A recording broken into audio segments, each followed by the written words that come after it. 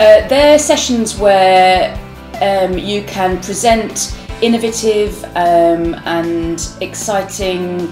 novel ideas from practice uh, to people um, and so you brag about it and then the people in the audience steal your ideas and go away and kind of are inspired to kind of do the same thing in their own practice. So they're short uh, sessions where you only have um, I think it's eight slides um, and so you don't have to worry too much about presenting formally. And it, it is a short quick fire presentation session where you can get across what you're doing in practice